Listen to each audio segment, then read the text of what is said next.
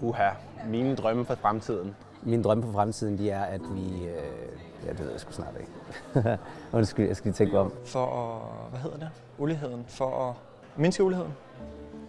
Jamen, det er, jo, det, er jo sådan, det er jo en politisk holdning at have. Det er jo ikke, hvad kan vi gøre med uligheden, når vi er færdige? Min drøm for fremtiden er at forske. Være fri på en eller anden måde. Altså, vi lever i en meget globaliseret tid.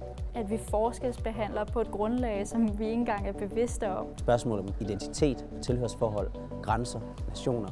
Og de ting, dem tror jeg, at vi som historikere kan hjælpe med at, at, at løse. Som færdiguddannet polit kan man kigge på hele klimakrisen, den økonomiske del af klimaproblematikkerne. Det er at kunne arbejde med big data. Den her frie forskning, den kan noget helt andet end en, arbejde, en anden slags arbejdsplads kan. Der er så mange ting, man kan få ud af så lidt data. Det, det er ligesom der, hvor man lærer det, som man aldrig nogensinde kunne forestille sig. Og der er mange, mange flere konflikter. Se bare til Hvide Rusland og, og på grænsen til Polen. Det er jo konkrete problemer, vi skal tage fat i.